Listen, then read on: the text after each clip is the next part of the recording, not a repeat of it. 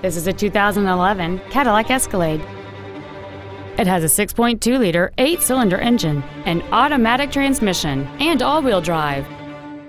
Features include a sunroof, a navigation system, a rear view camera, a low tire pressure indicator, leather seats, an illuminated passenger side vanity mirror, side impact airbags, air conditioning with automatic climate control, cruise control, and this vehicle has fewer than 39,000 miles on the odometer.